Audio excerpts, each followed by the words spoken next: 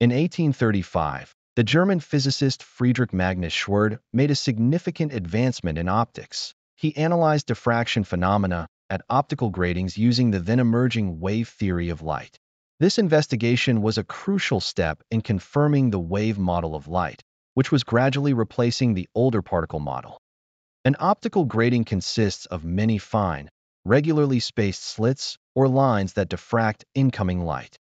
When light hits such a grating, characteristic diffraction patterns emerge due to interference.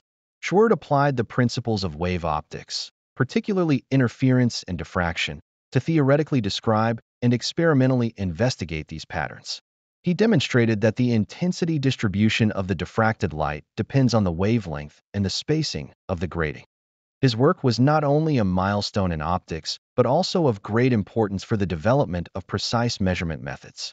The grating experiments refined by Schwerd were later used to determine the wavelengths of light and for spectral analysis, an essential tool in physics, astronomy, and chemistry.